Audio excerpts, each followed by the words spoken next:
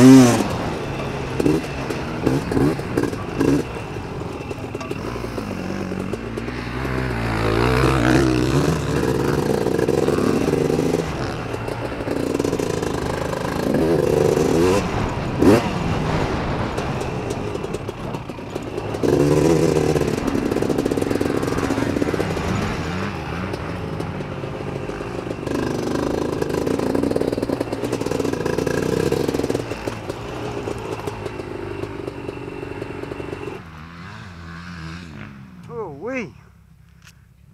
Too much back brake, too much back brake.